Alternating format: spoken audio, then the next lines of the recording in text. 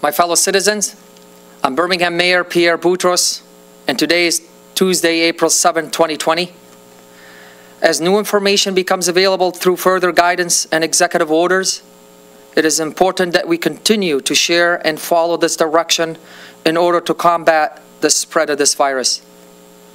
Earlier this week, Governor Whitmer issued Executive Order 2020-36, which provides further clarity to her stay home, stay safe directive of March 24th. Effectively, this new directive states individuals that test positive for COVID-19 or display one or more principal symptoms of the virus should remain in their home until three days have passed since their symptoms have resolved and seven days have passed since their symptoms first appeared.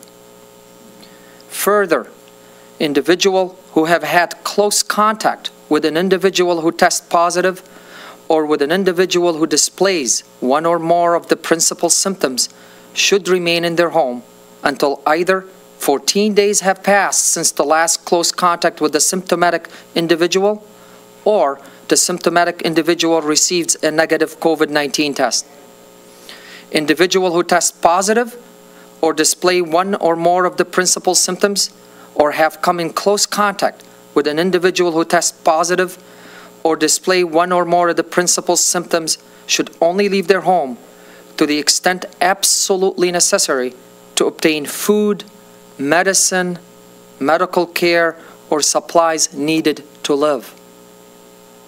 If you do need to leave your home under these conditions, you should wear some form of covering your nose and, mouth. As a community, this is where we can help by keeping in remote contact with our friends and neighbors to assess their health and offer assistance and drop off supplies as needed.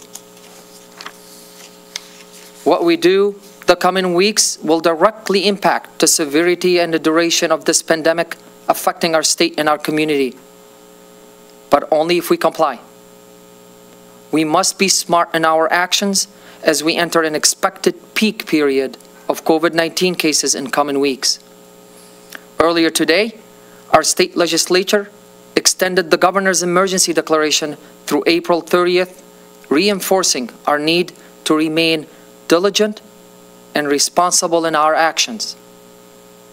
By complying with the latest state guidance, we can all do our part to stay home, stay safe, and save lives.